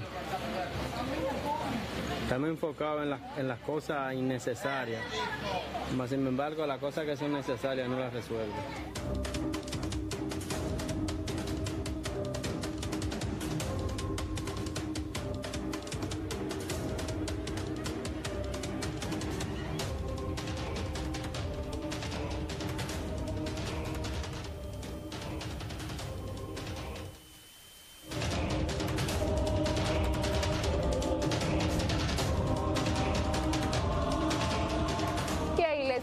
Nuestra AN7 Pregunta. Está en cada una de nuestras redes sociales con el usuario A Noticias 7 la puede encontrar. ¿Considera correcto que se exija la tarjeta de vacunación con dos dosis para asistir a lugares públicos? Vamos a ver qué opina la gente a través de nuestras redes sociales en torno a estas nuevas medidas. Dice Salón, no por nada debe de ser obligado. Continúa Estebanía, dice ella, sí es correcto. El que no se quiera vacunar, que no salga a contagiar a los otros. Además, también tenemos más opiniones. Algenmi dice no y no. Eso es una violación, es mi decisión, mi cuerpo, mi vida, nada tiene derecho a obligarme. ¿Dónde estás, eh, donde la supuesta libertad, dónde está la supuesta libertad y mis derechos? Pregunta. Y ahí continuamos viendo a Juan Peralta que dice, ahora mejor que nunca, yo tengo las tres, vacúnate, tú también. Además de Juan, a ver quién más opina. Dilcia Gabriel dice, claro que no, es una violación a la Constitución y a los derechos humanos. Cada quien tiene derecho a hacer con su vida lo que quiera. Continuamos con Grecia, que dice, claro que sí, ya me puse mis dos dosis. Muy bien por Grecia, ese es el objetivo de que todos se puedan vacunar contra el COVID-19 y les recordamos, como siempre, nuestra ANC te pregunta, sus, sus opiniones son de suma importancia para nosotros. ¿Considera correcto que se exija la tarjeta de vacunación con dos dosis para asistir a lugares públicos? Una nueva medida que ha entonces estipulado el Ministerio de Salud Pública, el Gabinete de Salud, el Gobierno de la República Dominicana para contrarrestar el tema del COVID-19 y a raíz de que a partir de hoy ya no hay más estado de emergencia ni toque de queda en la República Dominicana. Usuario a Noticias 7 en Facebook, Twitter e Instagram.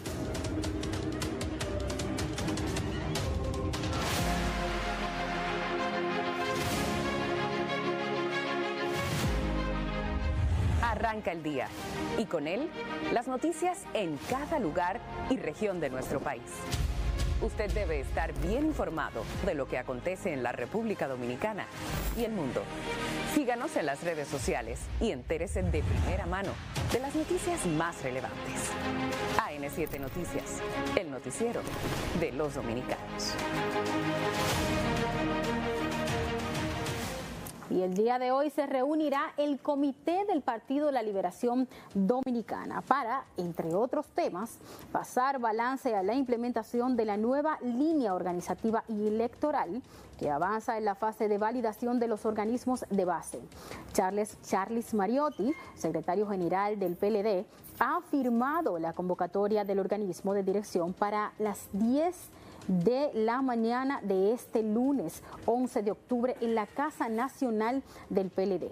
En el encuentro se hará una evaluación de las tareas de validación de los organismos del PLD, agotando una de las fases de la implementación de la nueva línea organizativa y electoral del PLD, emanada de su noveno Congreso.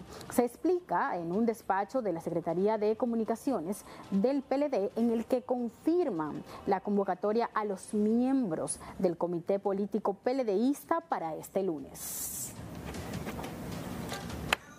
parte de nuestros reporteros urbanos enviándonos las noticias más relevantes de tu comunidad, videos, fotos y todo lo que quieras denunciar a través de nuestros contactos de Telegram 829-420-1244 y 829-420-1245.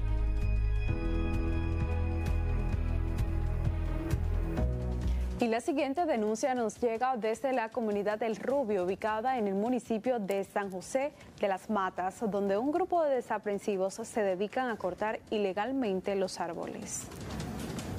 Muy buenos días para todos. Estamos aquí porque estamos preocupados por la situación que está enfrentando el Rubio en la actualidad. Estamos aquí al lado de un camión que fue, fue eh, preso por las autoridades porque andaba de manera ilegal. Ese camión se sabe de qué color es. Eso es lo primero, tiene varios colores. Es un camión que anda con placa falsa. Es un camión que tiene, lo conducía un niño de 19 años que no puede tener, no puede tener una licencia categoría 4, que es la que necesita para manejar esos camiones. Ese camión andaba con un permiso ilegal, sin sello, de ninguna institución. Y ese camión sale de una zona vulnerable del Rubio, sale, ese camión sale de, de Los Ramones y el permiso dice que de las Manacras. Están acabando con los árboles en una zona de amortiguamiento de parque. Debemos todos cuidar nuestra zona. Así es que a todos los contactos que, contactos que hay en Facebook, en todas las redes sociales, vamos a hacer viral este video para que el señor Orlando Jorge Mera se pantalón y haga su trabajo. Y si no puede hacer su trabajo, que renuncie de su cargo porque está en riesgo el futuro de nosotros y de nuestros hijos. Podemos ver también Aquí tenemos una lona. Pueden observar la lona. La tiene ahí. Entonces la están tapando los pinos. ¿Quién está detrás de esto? Que esta persona que está aquí, el diputado Domínguez y el presidente de la República que está aquí. Que nadie para ese camión ni camino. Para eso caigan eso. Entonces, un camión en estas condiciones que no sabe el color que es, con una placa falsa. Las gomas. Un chofer de 19 años, un niño. Un permiso sin firma, sin sello. Todo ilegal. Necesitamos que se investigue y que ya esto se pare. Ya estamos hartos de corrupción. Algo que es entendible. ¿Cómo es posible que ese camión ande trasladándose con esa goma en esa situación que puede provocar un accidente donde pueda perder la vida? ¿Dónde está la DGC? ¿Dónde está la DGC? Que porque un casco protector quieren parar a uno y darle una multa, entonces esta situación no lo ven todas las gomas en esa, en esa condición. ¿Qué es lo que está pasando con las autoridades? Gracias a la policía de Rubio que hizo su trabajo, tenemos este camión aquí. Porque si es por medio ambiente, o la DGC que no está supuesto dejar que ese camión funcione, estuviera circulando y nada pasa. ¿Dónde están las autoridades? ¿Dónde es están? Otra cosa, ese camión está repleto, repleto de madera criolla. Eso no es pino caribea, esto es madera criolla. Este pino debe tener por lo menos de 50 a 60 años. No hay planes de manejo para, para madera criolla. Entonces, ¿dónde están las autoridades que deben de velar esto? No tenemos autoridades, estamos huérfanos de autoridades. La gente de medio ambiente que están sacándole provecho únicamente a nuestra sierra. corazón. Ah, ve la placa. Es bueno que vean la placa.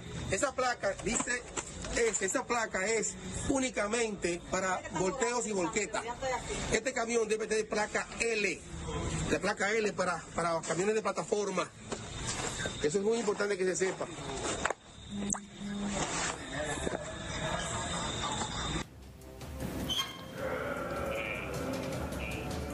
Y desde el pasado 20 de septiembre, una joven se encuentra desaparecida. Lourdes Belizaire, específicamente es el nombre de esta joven que lamentablemente se encuentra desaparecida, como decía anteriormente, desde el 20 de septiembre y aún no aparece. Sus familiares piden a gritos que si alguien la ve, se comunique al número 829-266-4519. Repetimos, puede comunicarse al 829-266-4519. Ella reside en la carretera Mella, municipio San José de los Llanos, Batey, Honduras. Las informaciones. En esta ocasión hablamos sobre el vicedecano de la Facultad de Ciencias Económicas y Sociales de la Universidad Autónoma de Santo Domingo, Antonio Siriaco, quien rechazó a la entrega anticipada del 30% de los fondos de pensiones por considerar sería perjudicial para la economía. La entrega del 30% eso no va a resolver un problema, eso es muy coyuntural. Lo que hay que estructurar un tipo de seguridad social donde todos los dominicanos y todas las dominicanas tengan su pensión asegurada, como ocurre en los Estados Unidos, como ocurre en Europa, donde la gente allí trabaja y la gente sabe evidentemente que se va a pensionar con una pensión digna.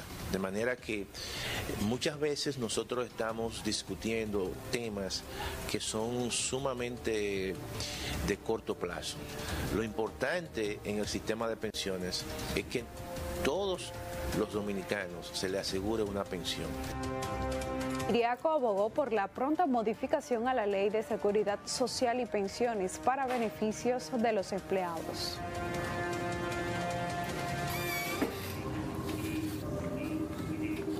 Y un joven fue sometido a la justicia, según informó la Policía Nacional de la Dirección Regional del Cibao. Fue sometido a la acción de la justicia el joven que asesinó al doctor José Miguel Cabrera. Según declaraciones de Miguel Esteban Marcelino, de 21 años, con quien tenía una relación personal con este, según su versión, el doctor José Miguel Cabrera lo recogió por su trabajo, llegando a un lugar en Gurabo, donde se armó una discusión por diferencias personales y este tomó una piedra matándolo y luego quemando el cadáver del profesional de la salud. El confeso homicida fue apresado tras una ardua labor de investigación.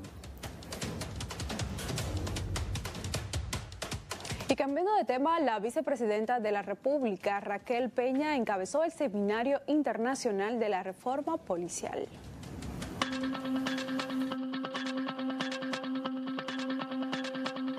Este fin de semana culminó el Seminario Internacional de Intercambio de Experiencias en Reforma Policial, el cual busca transformar la institución del orden.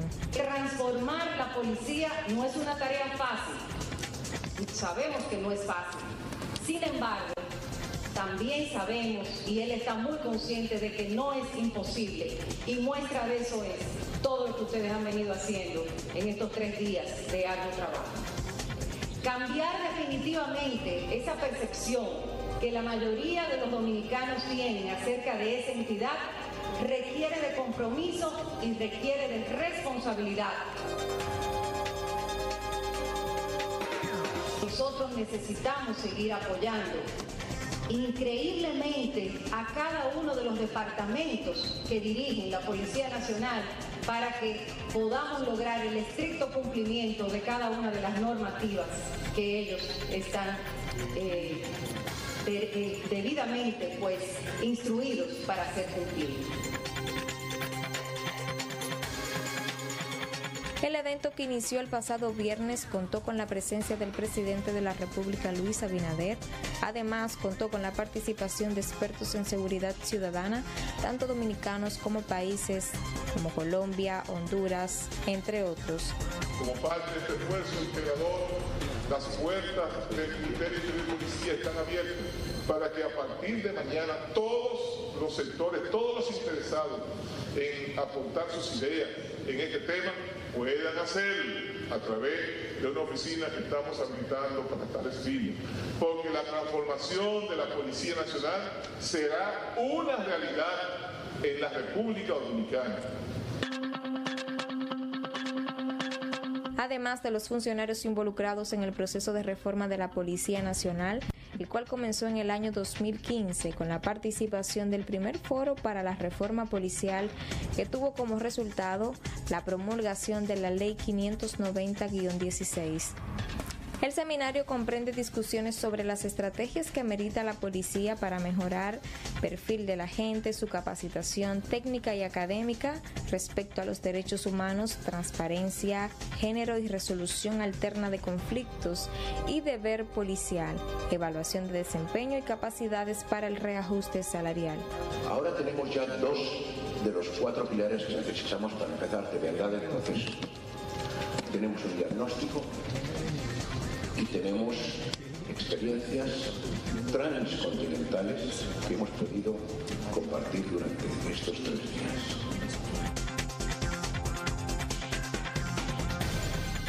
Porque a lo largo de todos estos días he visto muchas exposiciones acerca de lo que se tiene, pero ninguna exposición acerca de lo que se hace, de lo que se ha hecho y de dónde estamos.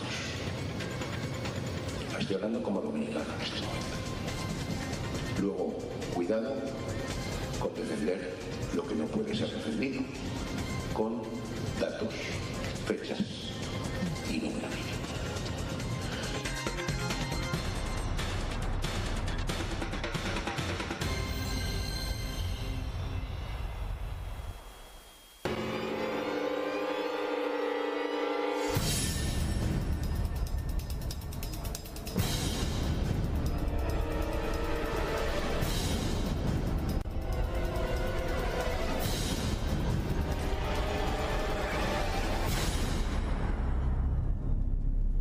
Y actualizamos una vez más los datos reportados por parte del Ministerio de Salud Pública a través de su último boletín epidemiológico. Aquí tenemos los fallecidos, ascienden a un total de 4.067 infectados desde el inicio de la pandemia hasta el momento, 365.558 casos reportados en las últimas 24 horas, un total de 495 casos activos, tenemos 7.510 en el territorio nacional, positividad diaria tiene 11.26% y las personas recuperadas con el COVID-19 marca un total de 353.981. Este es el boletín 570 del Ministerio de Salud Pública.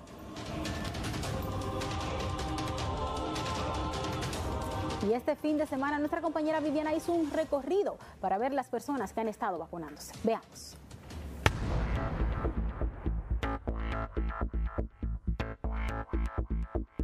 Los stands de inoculación, como el ubicado en el Centro Olímpico Juan Pablo Duarte, presentaron este fin de semana mayor flujo de ciudadanos días después de que el Ministerio de Salud Pública anunciara que debían presentar la tarjeta de vacunación para entrar a lugares públicos. La doctora Rojas, que no quiso hablar en cámara, aseguró que la vacunación fue muy fluida e hicieron más acto de presencia este fin de semana en comparación con los anteriores. Detalló además que la cantidad de dosis disponibles para el domingo referente a la vacuna Pfizer fue de 480 y 80 dosis de Sinovac. Además, algunas de las personas que se dieron cita recibieron la primera dosis en contra del COVID y un mínimo de la tercera dosis. A propósito entonces de que las autoridades han tomado la decisión de que se tiene que presentar la tarjeta con por lo menos dos dosis, ¿se entiende que está bien por parte de las autoridades o no? Bueno, están haciendo eh, que el pueblo asuma un compromiso y hay que hacerlo, hay que asumirlo porque es para cuidarnos. Es una responsabilidad de uno mismo también. Independientemente de que sea obligatorio o no sea obligatorio, es una responsabilidad de uno.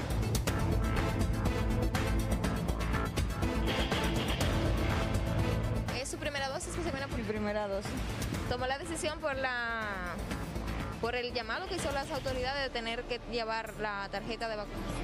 En parte, pero otras veces era que primero tenía, me dio el virus, que obvio, y después decidí que pasar el tiempo y mi doctor me dijo que tomar un X tiempo para Como ya terminé, ahora me vine y traje a mi niño que tiene ya los 14 años. Excelente. Eh, ¿Qué opina de esta decisión que ha tomado el gobierno de que se tenga que presentar la tarjeta de vacunación a ciertos lugares donde uno deba de asistir? Sí, yo lo veo muy bien, porque hay mucha gente en la calle sin mascarilla y la mayoría no tienen, no se han puesto ni la primera dosis. Lo veo muy bien eso. Y continuando con temas de salud, y es que mediante la resolución número 533-01, el Consejo Nacional de Seguridad Social aprobó la aceptación de recetas médicas en las farmacias sin importar que el médico que la prescriba no tenga códigos o no estén afiliados a las ARS. Esta resolución entró en vigencia el viernes, dando cumplimiento a parte del acuerdo firmado recientemente entre el Colegio Médico Dominicano, las administradoras de riesgos de salud y los ministerios de salud pública y de trabajo. El presidente del Colegio Médico Dominicano, Waldo Ariel Suero, definió este paso como tras trascendental y como una gran conquista del gremio, del gobierno y del pueblo dominicano, debido a que, además de beneficiar a los pacientes del sistema de seguridad social con una atención más oportuna, el usuario elegirá el médico que desee. Otro gran aporte de esa resolución del Colegio Médico Dominicano es que dignifica el ejercicio de la profesión médica y el valor del exequatur, indicó Suero a través de su nota de prensa. Suero señaló que el Colegio Médico Dominicano tenía más de 15 años de luchas enfrentando a las ARS en contra de esta postura injusta e ilegal que lesionaba a los pacientes y el ejercicio médico.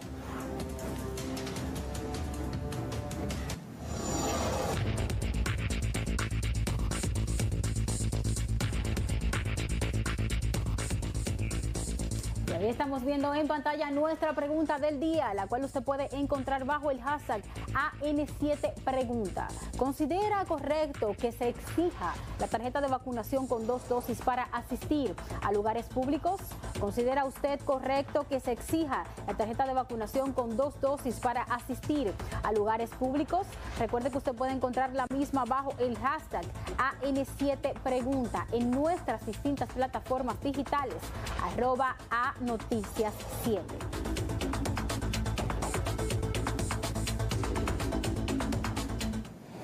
Y todos nos preguntamos, ¿se mantienen o han aumentado los precios de los productos que componen la canasta básica familiar? Veamos.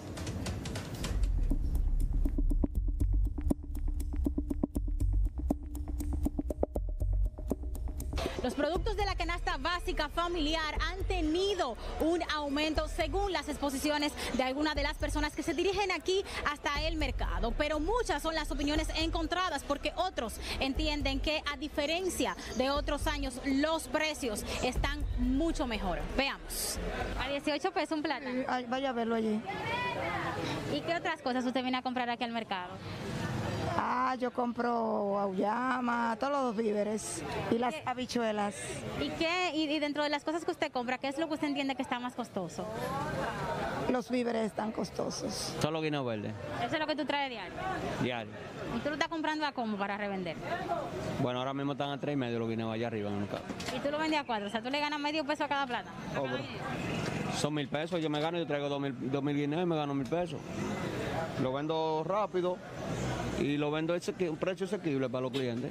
¿Y, cómo tú has visto, ¿Y cómo tú has visto la demanda de parte de la gente en los últimos días? La gente llega, siempre viene gente. ¿Y cómo ven los precios? Ahora mismo, ahora mismo también. Ahora mismo usted se encuentra que los precios están bien. Por ejemplo, los plátanos, ¿a cómo usted los está comprando? Ahora mismo a 13 pesos, que a veces están mucho más caros. ¿Y los demás víveres? Eh, yo lo encuentro asequible. Son las papas, que precios anteriores están mucho más cómodos ahora. Dígame. Las habichuelas, ¿a cómo están? A 80 pesos la libra, la verde. A 80 la libra. Que ahí tú sabes, la verde, yo nada más vendo verde. ¿Y los guandules? A 1.30 la libra. ¿Y la demanda en los últimos días cómo ha estado? Yo siempre vendo igual, yo siempre vendo, vendo bien. Yo siempre vendo. Precisamente usted que tiene ya tanto tiempo, ¿cómo ve usted el alza de los precios para ustedes comprar y revender? Es que este producto varía mucho, porque este producto depende de, la cosecha. O sea, si hay temporada, baja, pero cuando se pone un poco escaso, aumenta. O sea que no, eso no tiene que ver que porque va a cosas, sino que es por la, por la temporada. ¿Y después de la pandemia, usted entiende que los precios se han mantenido? Yo creo que sí.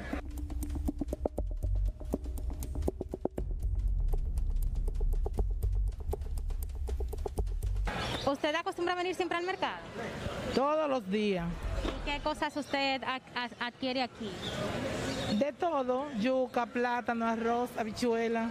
¿Cómo ve los precios de cada una de esas cosas que usted compra? Bueno, hasta ahora bien, porque imagínate, la cosa está muy cara, pero obligatoriamente hay que comer y comprar.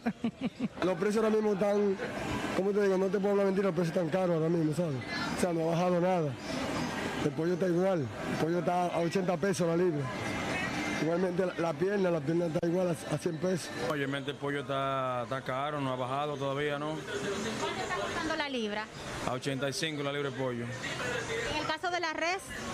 No, la carne de res esa está altísima también, ahora mismo está a 2.10 y viste. En el caso, por ejemplo, de todos los derivados del cerdo, ¿cuánto están costando? No, el cerdo ha bajado un poco. El cerdo estaba a 110, ahora está a 88 la libra. Los salames están costando 3,5, el salame Indubeca y el chef. Y la salchicha, la Emilio, 400 eh, eh, y 3,5 la, la ranchera. Los quesos están a precio cómodo. El cheddar está a 1.50, el blanco está a 110 pesos la libra. ¿Y en el caso del ajo cuánto está costando? 150 pesos la libra. ¿Y las papas? La papa eso está barata, la papa, la papa está a 20 pesos. ¿Tú entiendes que los precios a que tú estás comprando te flexibilizan para tú poder venderle a la gente? Eh, debería ser un poco más económico porque la situación está un poco medio difícil. Pero eh, pero la gente, como están los productos, pueden comprar, se puede comprar. Y los vendedores afirman que las demandas han disminuido de parte de los consumidores, precisamente porque algunos productos han sufrido una inflación.